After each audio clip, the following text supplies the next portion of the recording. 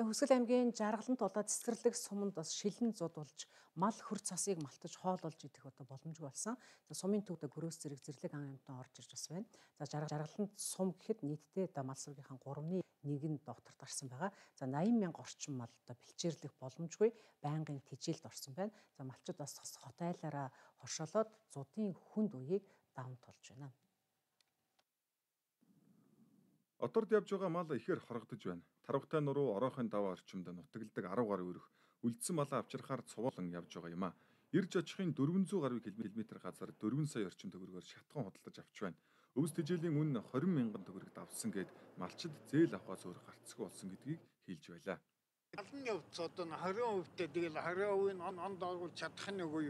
Ирээд одоо хавар хол байна тэгээд онд ороход хэцүү байна. Нэг машинд л нэг айл өхөр байна уу юу л гээл явж байгаа шүү дээ. Зам ер нь ямар вэ? Замын Замын байд үнэ байдлаар л Монголд Монголд арай дээр лээ.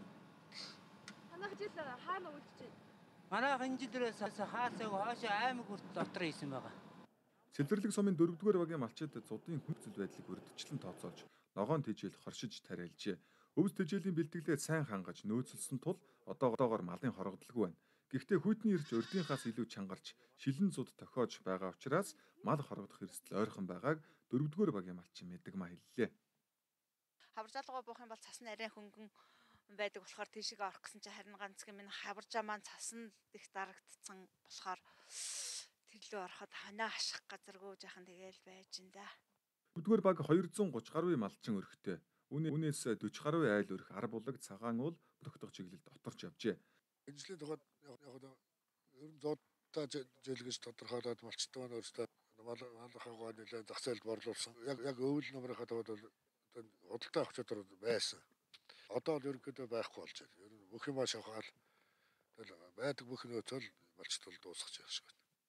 Ургамлын гарц муудаж ган зуудын давтамж ойртож байгаа нь бэлчээрийн даац хитэрч уур амьсгалын өөрчлөлтийн нөлөөнөөс үүдсэн үр дагавар юм. Малын тоо толгой өсөж байгаад мал аж ахуйн бүтээгдэхүүний үнч мөн нөлөөлж байгааг инх хамгаалан сайд хэлж байна.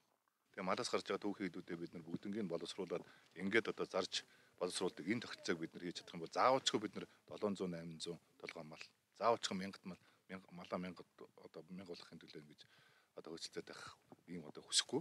Мөн малчтыг нэгээс хоёр га талбайд ногоон тэжээл тарих нөхцөлийг нь бүрдүүлж дэмжлэг үзүүлэх нь чухал байна.